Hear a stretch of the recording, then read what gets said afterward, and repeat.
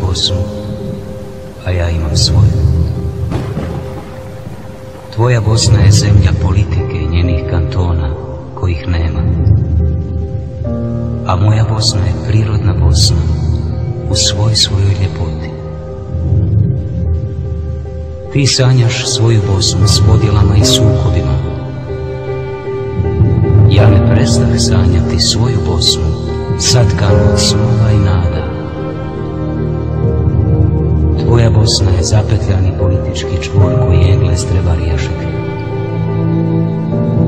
Moja Bosna je spoj humaka, planina, čarobnih dolina, usijanog kamena i žubora potoka, u kojoj i Englez i svi drugi mogu uživati kada dođu u moju Bosnu.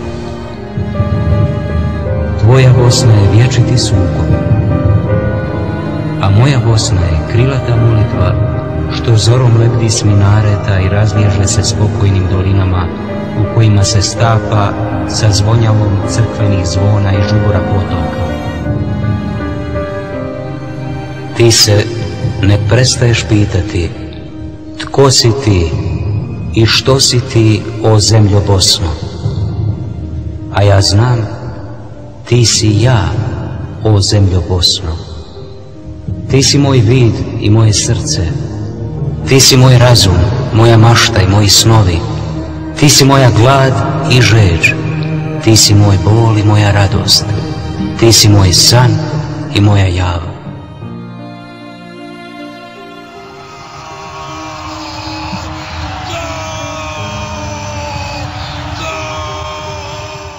Zaista je bio ov- ovakav huk, jauk, vrisak je bio kad je pao drugi govor.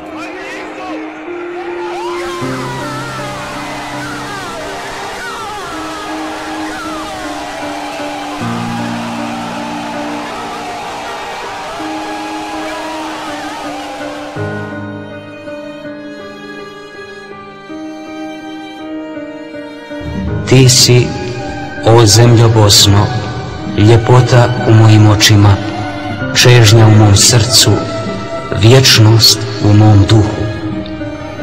Si ja, o zemljo Bosno, i da nije tebe, ni mene ne bi bilo, a da nije sinova tvojih, ni tebe ne bi bilo.